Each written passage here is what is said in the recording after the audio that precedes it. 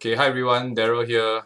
Uh, okay, this is lesson 57 in my YouTube playlist Investing 101. Uh, today we're going to talk about this thing called common stock because I received an email from someone uh, asking me about different types of stock. Uh, yeah, so let's get into it. Okay, uh, so commonly known as just shareholder. So if you're a shareholder, most probably you got uh, you're holding stock, okay?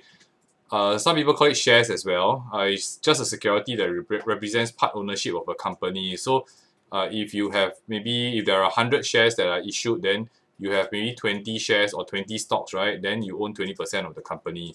Okay, so there are many classes of stock. So uh, we'll touch on uh, preferred shares or preferred stock in the next lesson. But uh, the difference between common stock and preferred stock, right, is that uh, common stock, you have the power to vote on corporate matters and change the board of directors.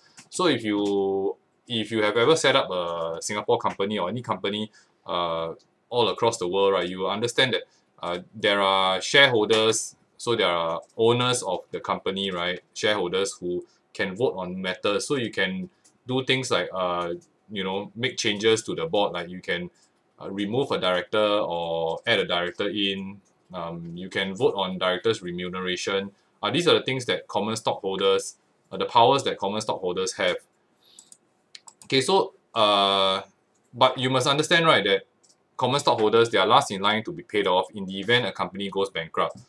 Uh, and if let's say the company goes bankrupt, right, then uh, you have to pay off the debtors, uh, the creditors. So the creditors, right, you got to pay off all the people that you owe money first. Then next you got to own, uh, you got to pay off the bondholders. So uh, people who you issue, people or companies that you, the company issued out uh, bonds to, right, they got to clear that first. Then uh, after that you pay off the preferred shareholders.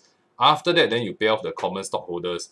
So common stockholders, they have the power to uh, to make changes to the company, uh, make changes to the board. But then, in terms of uh, being re, uh, being paid off, right, when you know when the company files for uh, liquidation, uh, or even in the event of uh, paying out dividends, right, actually preferred shareholders will be paid off first. Okay, so that's all from this lesson, and I'll see you in the next video.